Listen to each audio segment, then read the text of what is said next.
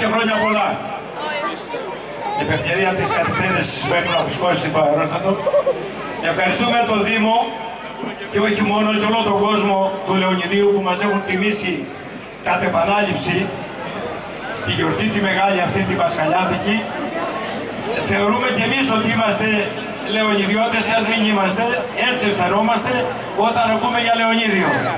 Να είσαστε καλά, μετά από αυτό το χορό θα είναι τσακώνικος που θα πείτε όσοι μπορέσετε στον χορό. Αυτή που μολύνει